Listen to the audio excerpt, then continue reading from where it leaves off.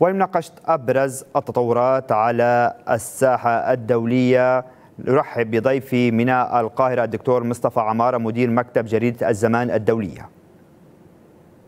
أهلا بك دكتور مصطفى سوف نتحدث اليوم عن الدور المصري وخصوصا مع الولاية الثالثة للرئيس المصري عبد الفتاح السيسي. داخليا لنبدأ من الداخل المصري. هل هناك من تحديات وإلى ما يتطلع المصريون؟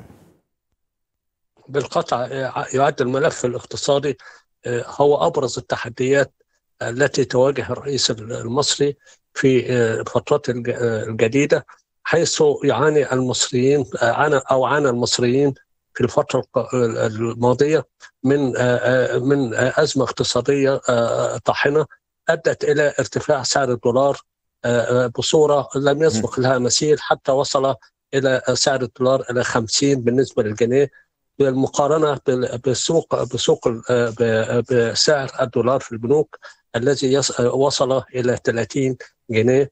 وبالتالي فإن هناك أزمة اقتصادية طاحنه يعني تواجه الرئيس المصري وهو ما يسعى إليه لمواجهة تلك الأزمة من خلال التفاوض مع صندوق النقد الدولي صندوق النقد الدولي الذي يبدأ مراجعة مراجعة مراجعته الثانية مع مصر مع مطلع العام القادم.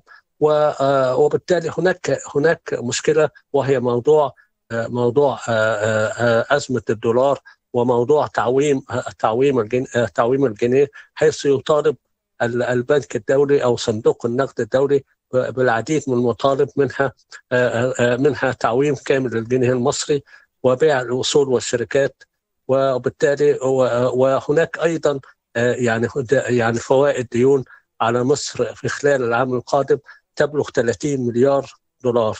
هناك يعني الرئيس المصري يحاول بكافة الطرق مواجهة تلك الأزمة من خلال مشاريع العمل على مشاريع إنتاجية وموضوع الانضمام تأمل مصر في من خلال الانضمام إلى كتله بريكس في أحداث تعاون يمكن أن يمكن أن ينقذ البلاد من عثرتها. التحدي الآخر وهو التحدي الأمني ولا يقل خطورة عن التحدي الاقتصادي حيث تواجه حيث تواجه مصر تواجه مصر خطر على أمنها القومي بفعل الممارسات الإسرائيلية التي ترمي إلى تهجير الفلسطينيين من من من غزة إلى سيناء وهو الأمر الذي رفضته مصر رفضا قاطعا لأن ذلك سوف يؤدي إلى تصفية القضية الفلسطينية.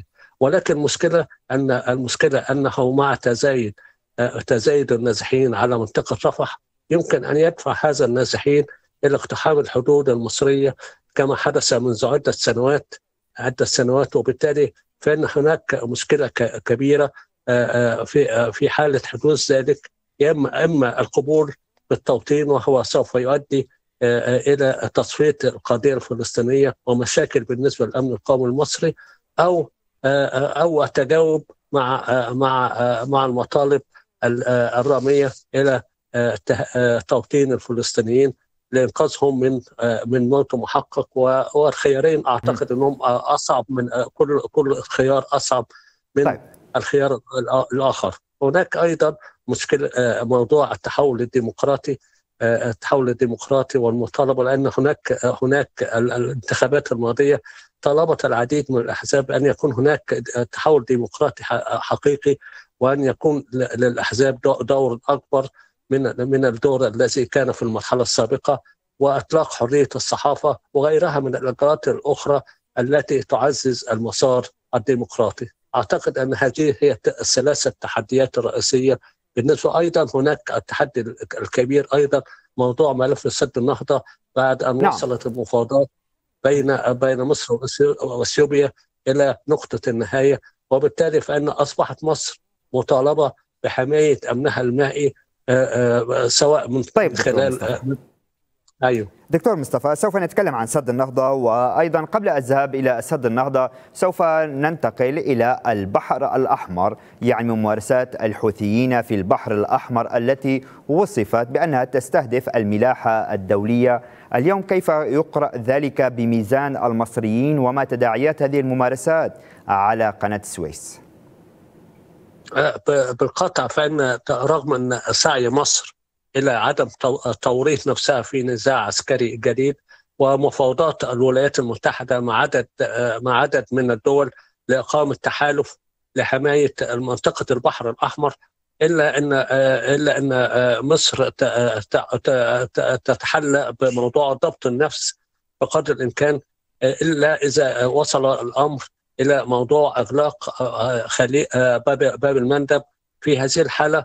ربما ربما تنخرط مصر في تحالف عسكري لحماية باب باب المندب لأن ذلك سوف يؤثر تاثيرا كبيرا على قناة السويس. وبالفعل هناك عدة شركات شركات الغت الغت ألغت حجوزاتها واختارت طريق رأس الرجاء الصالح رغم من من أن ذلك سوف يزيد التكاليف ولكن هذا سوف يؤدي أيضا إلى انخفاض دخل قناة السويس والذي يعد والذي يعد يعني دخل أساسي بالنسبة للاقتصاد المصري. مصر تتحلى بضبط النفس ولكن إذا تعرضت تعرض امنها إذا تعرضت الملاحة في البحر الأحمر ويمكن وتأثير ذلك على قناة السويس لخطر كبير فإن مصر أعتقد إنها لن تتردد في الانخراط في هذا التحالف لمنع الحوثيين من أغلاق من من إغلاق باب المندب. ومصر تلقت في الفترة الأخيرة تطمينات من من من الحوثيين بأنها لن لن تتعرض لن تتعرض إلى إغلاق موضوع باب المندب. ولكن كل أنها تستهدف فقط الموانئ الإسرائيلية رغم أن ذلك بالقطع يؤثر أيضا على الملاحة في البحر الأحمر. طيب دكتور مصطفى يعني أمام فشل الجولة الأخيرة لمفاوضات سد النهضة بين مصر والسودان وإثيوبيا اليوم يعني سؤال يطرح نفسه ما خيارات مصر في التعامل مع هذا الملف هناك هناك بالفعل عدد من الخيارات يعني رغم أن الخيارات يعني حتى الآن يعني ليست مؤثرة لأن الموضوع موضوع إثيوبيا حاليا وصلت إلى المرحلة الخامسة من تستعد أو تستعد الآن للمرحلة الخامسة من من من من, من عملية ملء سد النهضة. وحيث يمكن أن تصل كمية المياه المخزنة إلى 64 أو 74 مليار متر مكعب.